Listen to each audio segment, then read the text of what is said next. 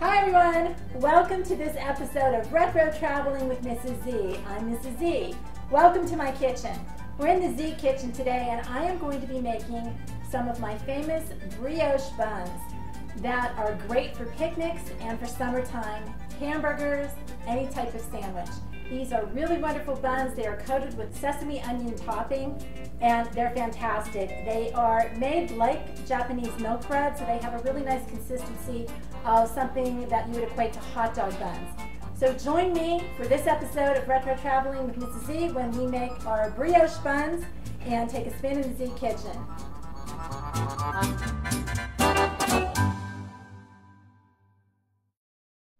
So, hi everyone, it's good to see you again. Today I am going to bake my brioche buns that I make every summer and spring and use them for hot dogs, uh, hamburgers, um, anything that uh, you would think of making a sandwich with. They are fabulous. They're nice and moist and they're every bit as good as you would get in a bakery. And I want to start out by telling you a little bit, this is my flour commercial, although I don't promote or I'm not an uh, endorser for any type of product and I'm not an influencer. I just like to share information. And I want to tell you about my flours that I use. So I use Francine flour from France.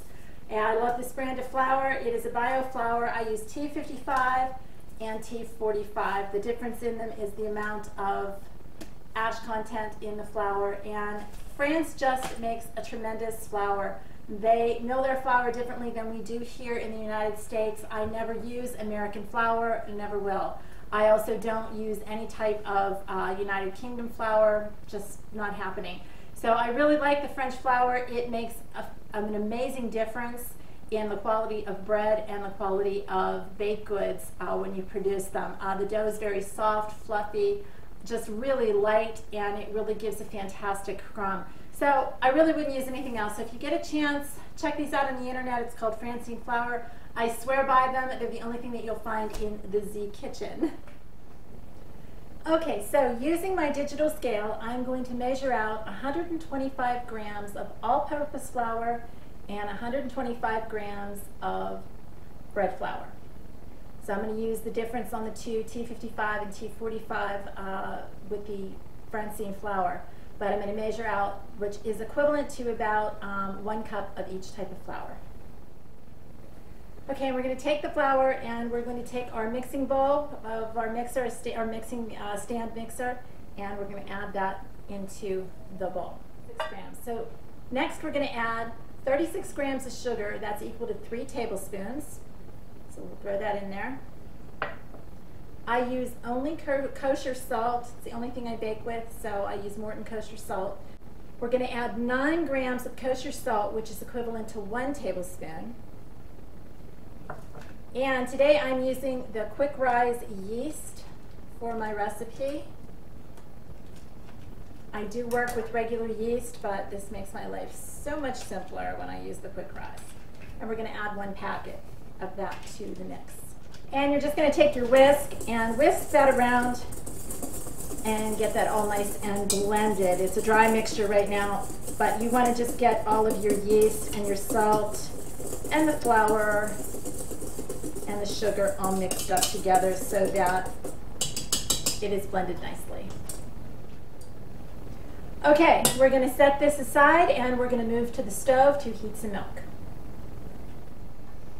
Okay, so my butter is melted, and again, if this reaches a uh, temperature of 120 degrees, you want to use a digital thermometer or a cooking thermometer to make sure that it doesn't go over that. Okay, so now we're going to take the warm mixture and we are going to add this to our flour mixture that you set aside.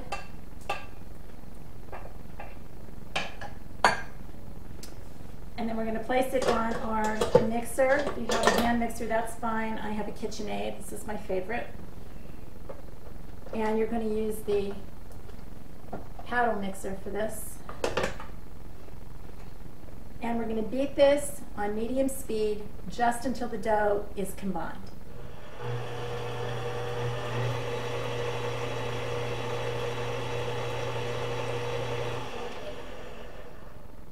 Okay, it doesn't take too long at all to make sure that that dough is combined. It happens pretty fast. Okay, you're going to have two eggs set, aside because you want these at room temperature. All right, so I want to add one egg the mixture.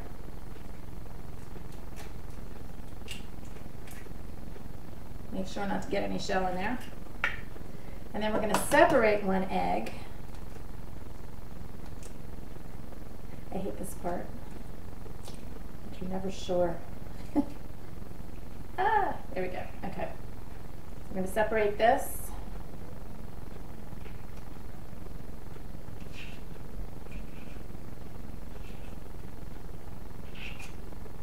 Just lovely. And then we're going to add the yolk to the mixture as well. And again, we're going to turn on the mixer and we're going to beat the egg and the egg yolk in here just until it's combined.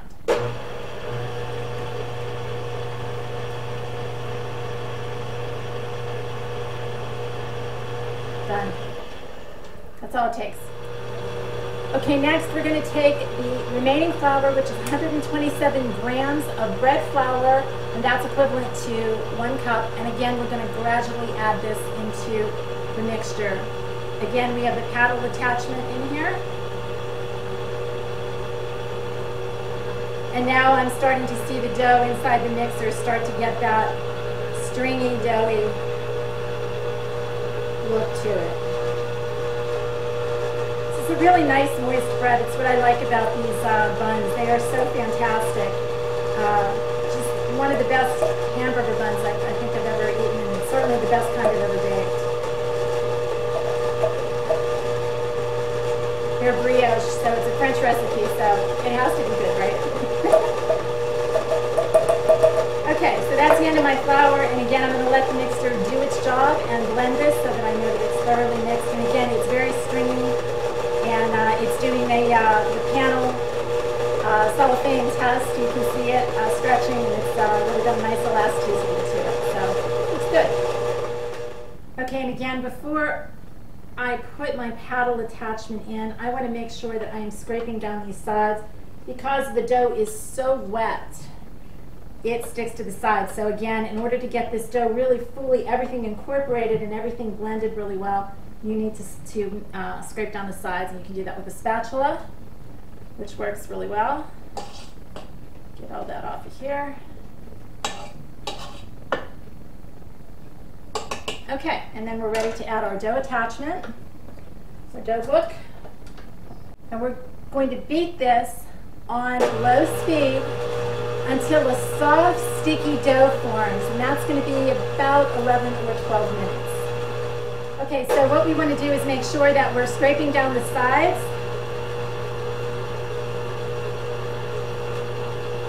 And that this is getting incorporated into the dough because um, you definitely want to do that. If you have to, you can shut it off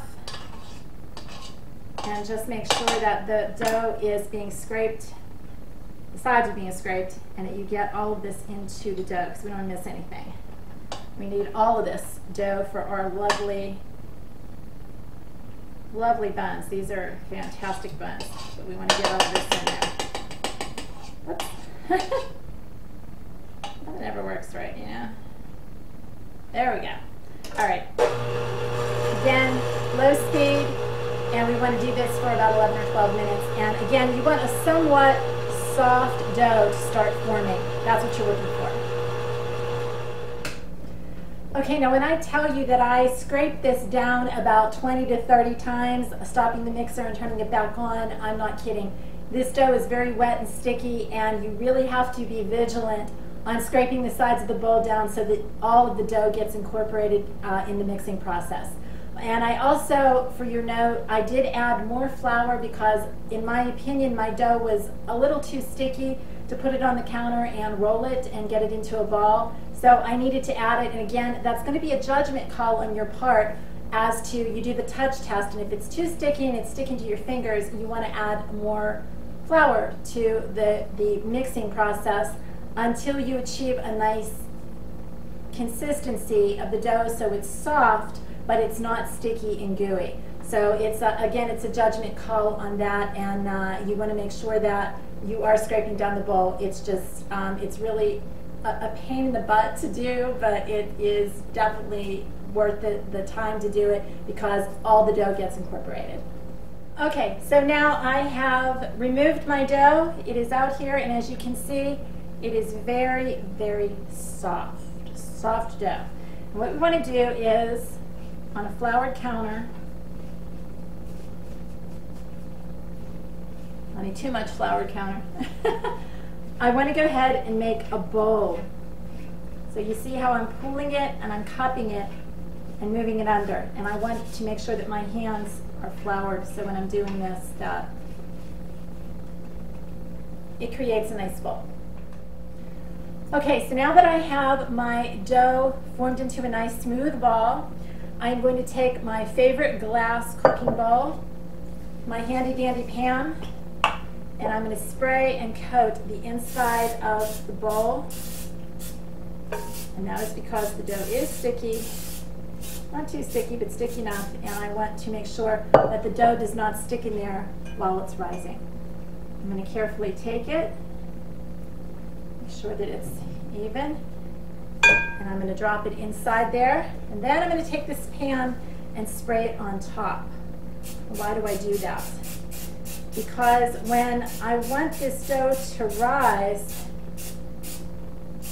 but what I don't want is it to stick to anything and I don't want it to form a hard crust on the top. I want it to, to keep that smooth, uh, round, lovely shape and I want it to be very soft so that when we go to actually make the uh, hamburger buns themselves, the rolls, the dough balls, that uh, the dough is easy to work with and it's not cracking on top. So use some Pam on top or a little olive oil if you like that better.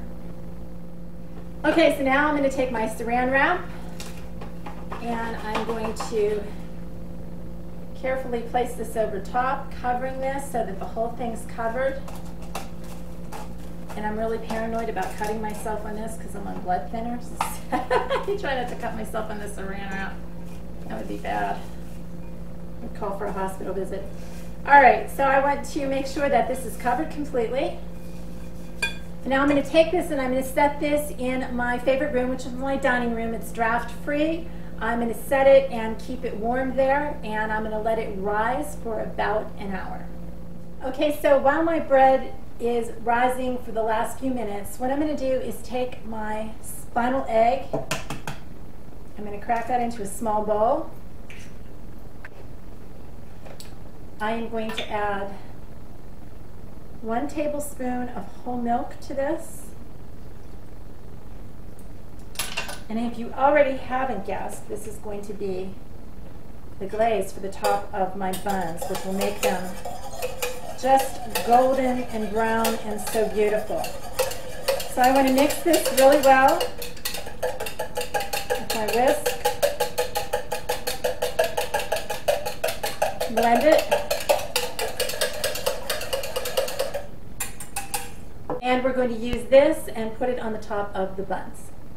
Okay, so my bread has finished rising and it is beautiful. Again, you can use regular yeast or cake yeast if it's in season where you live. I can't always find it here in Pennsylvania and I just prefer to use the quick rise yeast. It does the trick for me. So it is nice it's, it looks fantastic. The dough is nice and shiny. It's beautiful. So now I'm going to take the dough and I'm going to transfer it onto a floured surface. Um, I use a granite countertop that's in my kitchen. And we are going to go ahead and start to form the roll, dough rolls for the buns. Okay, so I dumped my dough out onto the surface. If you can see it, it is beautiful. And we're going to separate this into 10 even balls. So what I do is I just kind of break it apart and you kind of judge. So I'm going to pull this apart. The dough is so soft, it's so billowy. That's what I really love about the French flour. It is just fantastic to work with. I, I'm so glad I read about it and did some research on it and found out why the French are real particular about the flour they use. So I need extra ones here. Try to make them even, it's hard.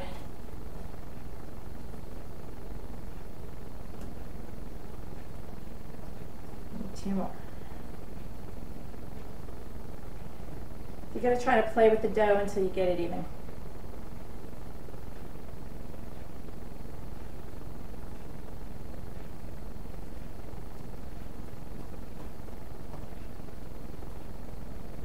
a little more on that one. Okay, so all of my, my dough balls are pretty much even. So what I'm gonna do is I'm gonna start to take this and I'm gonna roll these.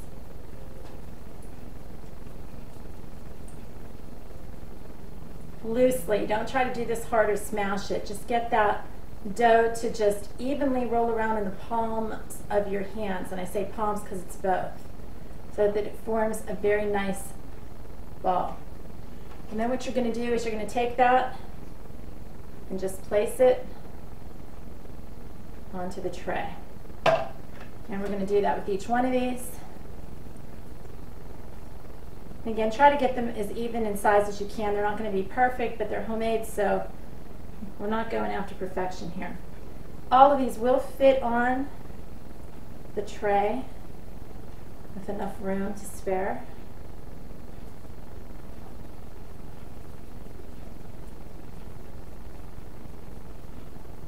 I love the feel of this dough, and it also smells, it actually smells like pastry dough. So that's kind of a, it doesn't smell like bread dough, it smells like pastry dough, which is great. And again, you just want to roll around and get a really nice ball shape going on. You can Move this over so you can see better.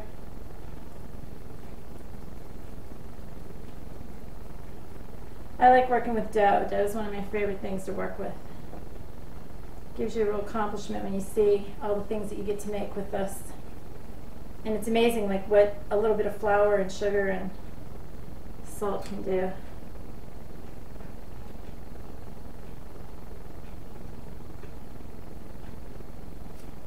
Got two more.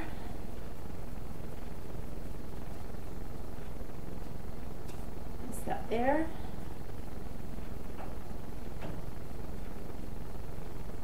And these will come out the perfect size for just a really nice hamburger. You can do like hot sausage on these, whatever your whatever your preference is. Okay, so we have these, as you can see, and they are just little discs. Now, in order to get the bun shape, I'm going to take my palm and I'm just going to lightly press down on the top of them. You don't want to squish them flat, you just want to lightly make them a little bit flatter. That's what gives it the nice hamburger bun look. So I have all of them pushed down. She's down a little bit more. Again, you want to just lightly press with your palm, don't smash them. You don't want any fingerprints in them. People don't like fingerprints in their food. At least I don't. All right, so now we're going to take our egg wash with the milk in it and we are going to paint the top of each of the buns. And this will give it a real nice texture. Okay, and then I'm going to add some of the sprinkles. And I am actually adding, I love garlic powder. I don't use garlic salt, this is too salty, but I like garlic powder. So I use the garlic powder on here on the top. It gives it a little bit different flavor. It's great with hamburgers. I eat vegetarian hamburgers, but they're great with that as well. And then I add a little onion powder on top. Just a little bit. Too, you don't want it too spicy, just a little to give it flavor. And the last thing I put on is everyone is very familiar with the everything spice on bagels, everything bagels. And I found this at um, Trader Joe's has this, and you can get this on the internet. And this is in every, Everything Blend. And I'm going to place this on here. And, and the Everything Blend is basically black sesame seeds, toasted sesame seeds, onion, and it has uh, poppy seeds in it. And it is just fantastic. I love this on almost everything. I put this on breads. Um, I use it for spices on a lot of things. It is just an all-purpose spice to me. So I really like this, and this gives a tremendous flavor on top of these rolls. So I really like this a lot. So I'm going to add this to each thing. And the egg wash on top of it, of course, allows all of these spices to just adhere to the top of the bun. So when this bakes, the flavors just go straight through it and it's fantastic. My whole family likes these. They look forward to these. And when I have guests over, they really enjoy them as well. So this is great. You can make these um, once a week. Put them in your freezer. They freeze fantastic. And just pull them out when you decide to grill or uh, you want a sandwich. All right, so I'm going to put this aside and in a room that is draft free. Let these guys raise for a little bit and then I'm just going to pop them in the oven and we'll see the finished product. Okay, so it's been a little while and my buns are nice and puffy, which is what I want. And I'm taking the plastic off and they are just beautiful. And the aroma that's coming off of here with the garlic and the onion and all of the different seasonings that are on top, it's just great and it hasn't even been baked yet. So I'm going to take this and pop this in the oven at 350 degrees. I'm going to leave it in for 12 to 15 minutes. I'll keep an eye on it. We want a nice golden brown bun on top. And, uh, you know, you want them baked but not crisp on the bottom. So you want them done just perfectly. So we'll pop them in the oven and see how these turn out. Okay, so my house smells amazing and the buns are out of the oven and they look fantastic. They're done really well on the bottom. They are just so flaky inside and they are just beautiful. They have a nice top on them and I am very pleased and the smell is just amazing. So I will most likely freeze these. They freeze really well. I use them in the summer so I always have a good selection of breads and rolls and stuff in my freezer that we can just pull out and use if we're deciding to throw something on the grill really fast or if we want a sandwich for lunch or whatever the case. So these are really great. They are brioche buns they are a fantastic recipe. Uh, you can follow the video if you like to make these on your own, or you can visit my website, www.retrotravelingwithmrsZ.com, and I have a list of recipes, including the brioche buns on there for you and your family to enjoy. So let's take a look at these buns here. They look fantastic. The bottom is done, oh, and they smell incredible. So I'm happy with them.